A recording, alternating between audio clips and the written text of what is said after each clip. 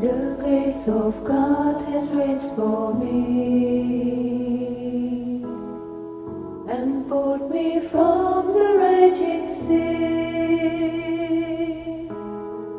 And I am safe on this solid ground.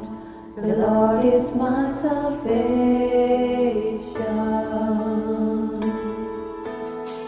I will not fear.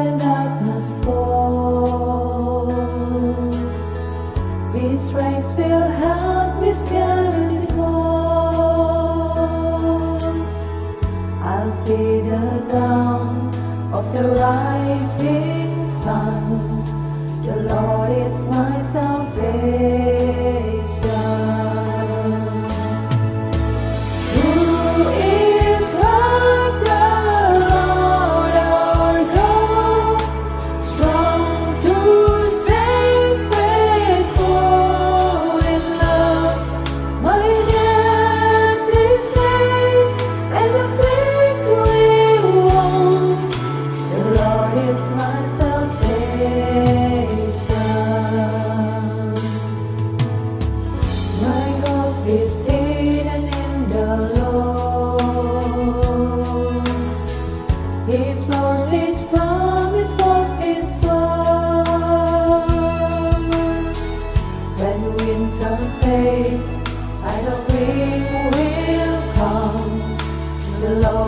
was